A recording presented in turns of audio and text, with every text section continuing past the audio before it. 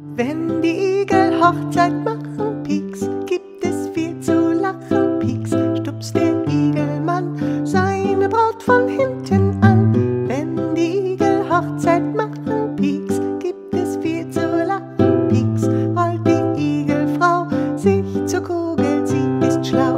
Und beim Hochzeitsessen gibt es feines Fressen, leckere Apfelmaden